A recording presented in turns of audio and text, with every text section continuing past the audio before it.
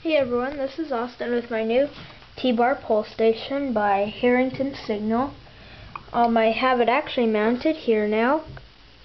And then I have my BG12 um, pole station over there. So I'm going to be breaking the glass, the glass rod. Right in there, I'll open this up real quick. The alarm's going to go off, but you can see it.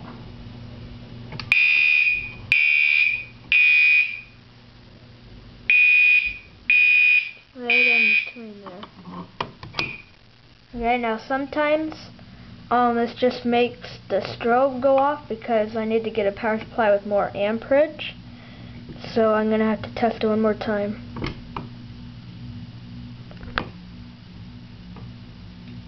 See, so I have to set it. Wait a second. Do it one more time.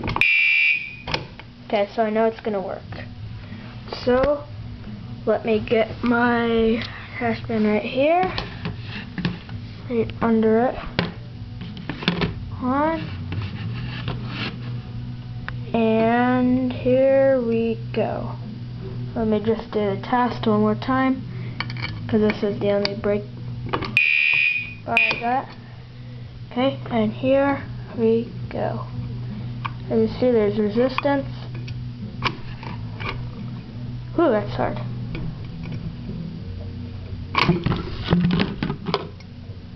Unfortunately, it made the alarm, uh, alarm didn't go off, so just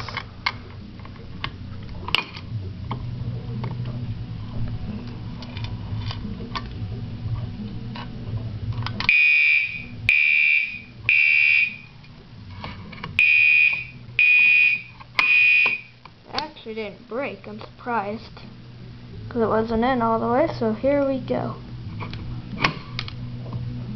Ah, come on, stop. I don't know, it's not. Here we go.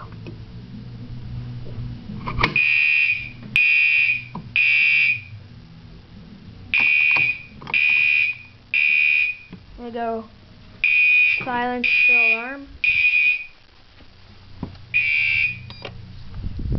Alarm is silenced. Um, let's see what this did.